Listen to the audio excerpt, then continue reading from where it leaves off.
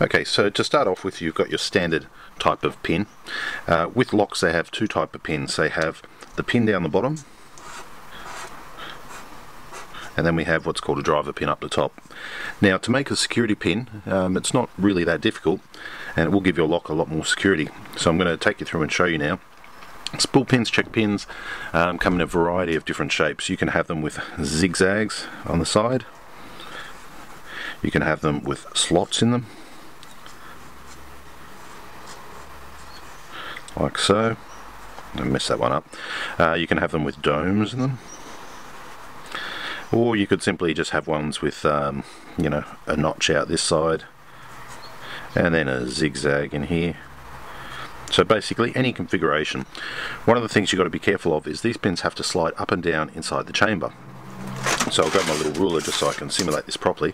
So when this is sliding up and down, these pins and the outer diameter here need to be kept as a guide rail for this pin to move up and down. If we notch too much out, what will happen is with your shear line, which is here, what will happen is it'll kind of get caught when you put your key in and you apply a little bit of pressure. These fine edges here can kind of get caught a bit. So we want to increase the security by giving it a, a pick resistant feature but not kind of mess the lock up to the point where it's hard to get the key in and out. Alright, so to start off with, some locks already have security pins built in. Take for example this new Lockwood 201 cylinder. This already has spool pins built in as standard. A lot of other locks like this one here don't. So what we're going to do is we're going to key it up real quick and then I'm basically going to pick it open and then we're going to make a couple of spool pins. I'll show you how to make them and we're going to see what the difference is. Okay, so to start off with I have a cylinder here that's just been sitting on my bench. It's got no pins in it, but I believe it has all its top pins. So I'm going to quickly go through and just check that. And I'm just going to use a pair of tweezers for that. So the way I like to do is just pop it open over like this. Check one, check two, check three, three are loaded come back around the front, check one, check two, check three. Okay, I've got three, uh, three top pins loaded there. So to start off with, we're just going to key it up, which is fairly straightforward. Uh, 215. I'm just dropping in the corresponding pins. So 251. 5 7 7. That's not a particularly hard combination, that's a fairly standard combination. This uh, lock here, this, this cylinder here, which is Brava, just has standard pins in it, standard driver pins. Okay, so that's in there now. Okay, testing, and the key's working. Alright, step one. Now let's go through and pick this. Okay, so to pick this open I'm just using an old crusty tension tool. I have an old Majestic that's so old it's got surface rust on it and I've got my lazy uh, electric pick gun so it shouldn't shouldn't take too long. And that's a plane going overhead so I'm just quickly going to pick this and bang we're in. So as you see that took me uh, approximately about 5 to 10 seconds, not long at all. So that's with standard pins. Alright, let's put this out of the way, this out of the way. If I was to pick this one here, it would take me a lot longer. Let's just be clear about this. Spool pins do not make your lock pick proof, they only make it pick resistant. And for a lot of people, pick resistant is a good place to start to increase your security. Alright, so now that I've got my um, plug turned, I could have also used the keys for all those people playing at home. Put your key in the cylinder, turn it quarter of a turn, make sure none of the pins are going to fall into any funny spots. Follow through with your follower. Take your plug out. Sit it over here. You might not have a fancy plug holder like I do but you can use other things. Okay so I'm going to start at the back and I'm going to drop the last two pins. I'm going to show you what type of a difference it makes just with two pins. Now here's the standard pins that come out. I could actually just use these but they don't give me a lot of room to actually uh, make my shapes that I want and to make those trapping those trapping uh, cavities. So I'm going to be just be using two 9 pins out of a standard pick set, a standard pinning set. And you can probably just use some longer lock pins you might have. So you don't have to go out there and buy lock pins. If I wanted to I could use the original one but they're a little bit harder to hold. Alright so let's get on to making it now. Okay so to make a driver pin spool pin mushroom pin you're going to need a drill with a reasonable chuck on it a fairly tidy chuck and you're also going to need some little tiny warding files this one here I drilled through some silicon yesterday so it's it's not the nicest but it will do it's got a fairly tight chuck on it. Right, so I'm going to put in a 9 pin in there. Now this does take a little bit of effort to get it lined up. If you're lucky enough to have a jeweler's lathe, you will find this nice and easy to do. Okay, now it's in there. I'm just going to spin it. See how true I can actually get it. What I mean by true is that when you spin it, it's spinning nice and centered. You can also buy a little tiny chuck off eBay if you wish. Well, it's not too bad. A little bit off centered. Completely off there.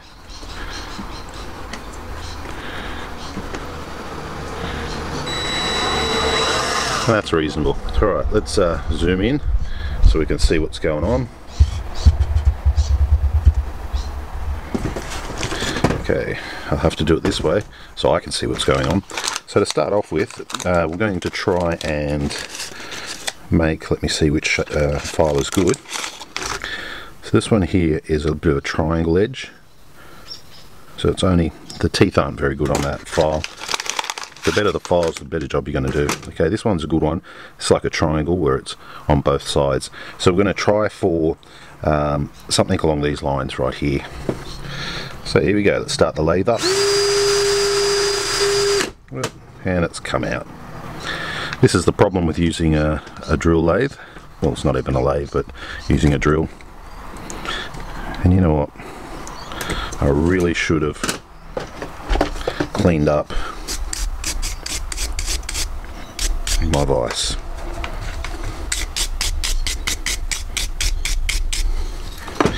Right, let's start that again. Okay, so let's load it in.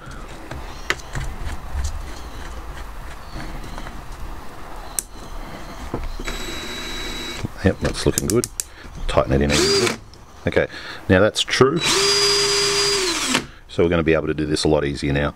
So with this file right here, it's a bit of a round file.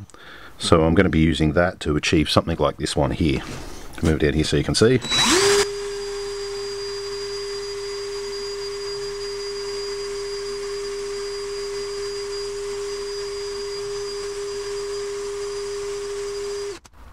Okay, and there we have it.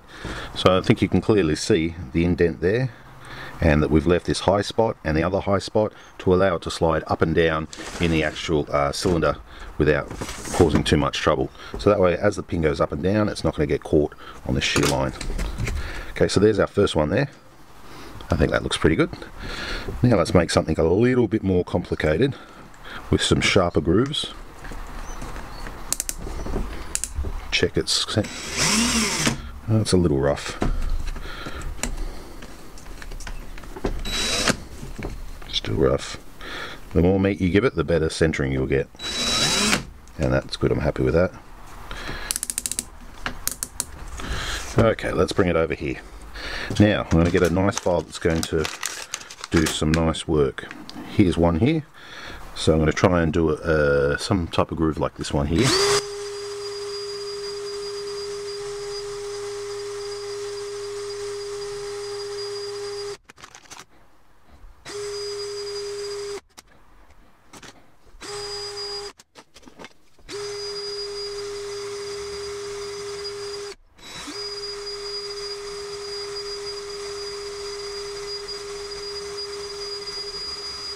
Okay, let's zoom into that and see what you can see.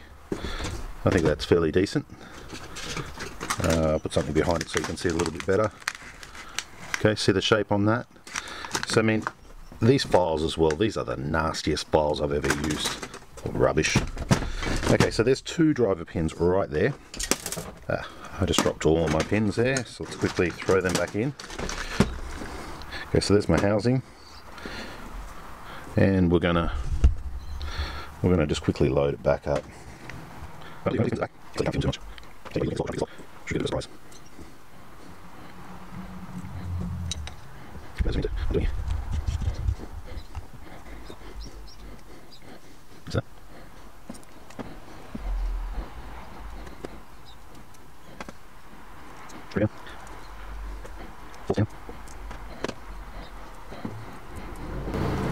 Okay, so I'm putting this one in with the point facing the top.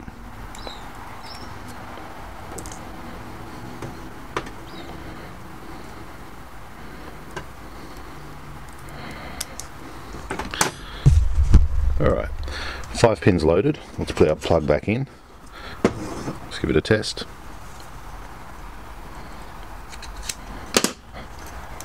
Left and right.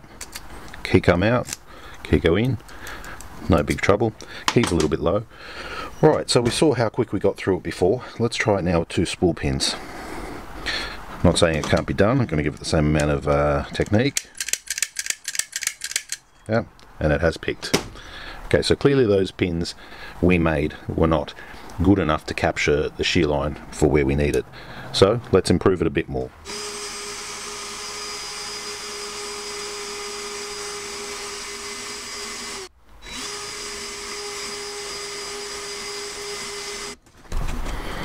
Okay, there we have a pretty nasty looking spool pin. Let's uh, let's set that in and see how that goes. So to start off with, I'm just going to be using standard driver pins in the front and I'm just going to be using this one spool pin in the back and we're going to see how much resistance we get from just the one. So I'm just uh, setting it up now.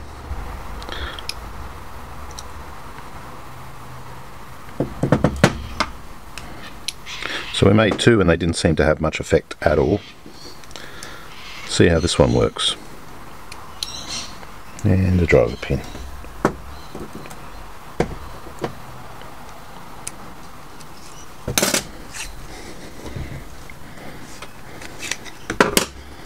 Okay, key is turning. Key goes in, key comes out, no problems. Let's give it a hit.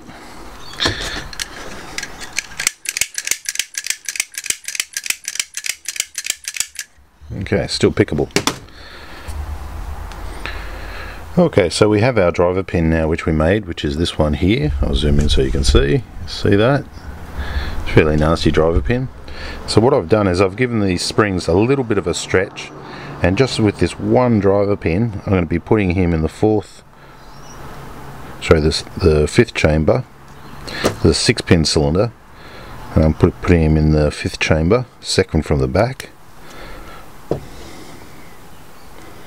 this uh, spring a little bit of a stretch as well and I'm going to include actually a second one here as well if you can see this one so that's two spool pins on a slightly stronger spring. Let's give that a go. Okay, cylinders in, two spools at the back, in fifth and sixth position, key works good. Key goes in and out good. Yep. Okay, let's see if, uh, how long it takes to pick. Okay, still pickable. Okay, so these spool pins, they do give you extra security. I mean, it's not an unpickable thing. They still do take, they do make it harder to lockpick. In certain cylinders like this one here, which is a 5 pin compared to a 6 pin, this actually has them in there. Because of the tighter tolerances, the stronger spring pressure, and the spool pins all put together, it can make it quite hard to actually lockpick. But you can still make your lockpicking pins like this, and they will give you extra security whether or not the person who tries to pick your lock or whoever you're trying to get not to pick your lock, whether or not they can defeat it, really depends on their skill level and the type of pins you use. So let's let's now do a demonstration on this one here. Uh, no luck there.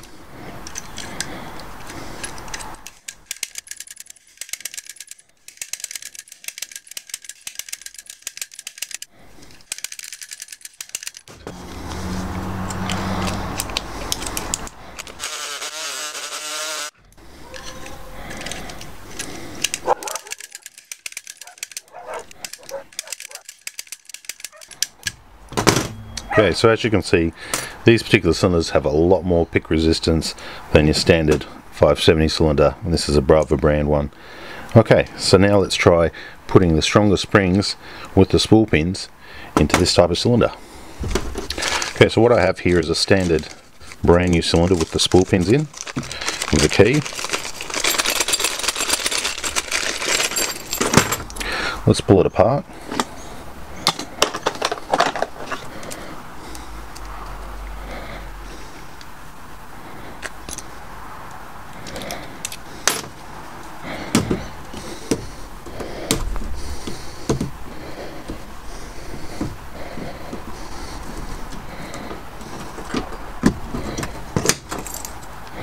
You can tell this one is laser engraved and it says Assa Abloy on the front, not just Lockwood.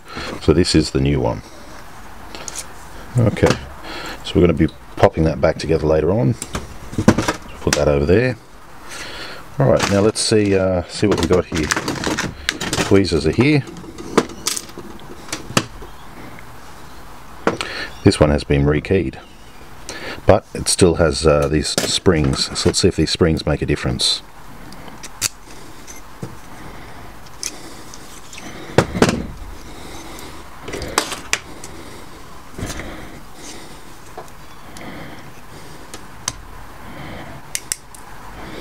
So I'm going to put one right in the front, spool pin right in the front.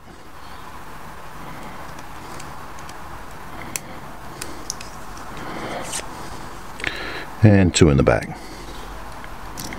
The two spool pins we made are out.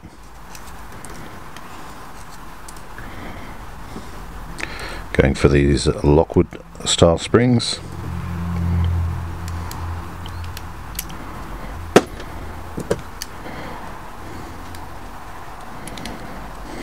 One.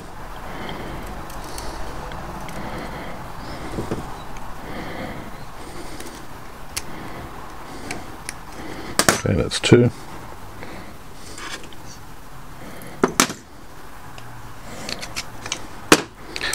Okay, so now we are loaded up with uh, these Lockwood style springs and just for your reference, there's one spring against a non-Lockwood spring. Same diameter, just have a look here. Okay, Lockwood, non-Lockwood. Okay, and we've got those mushroom pins in there.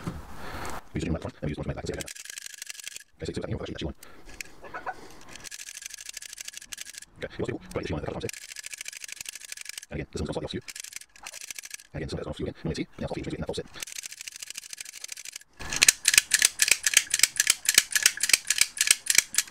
So I think that pretty much proves the moral to the story. Um, yes, you can make your own spool pins and you can make it out of your own driver pins that you currently have or you can make it out of number 9 pins which is a little bit easier, gives you a little bit more meat.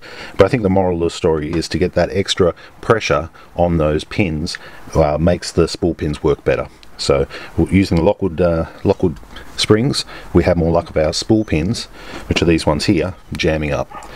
So if you wish to increase the security on your locks, you can do this at home and um, if it makes your locks a little bit less pick resistant, then that's a good thing. If not, you might want to consider, you know, some Lockwood, the new Lockwood cylinders. They're, you know, quite a quite a battle to pick even for a regular lock pickup.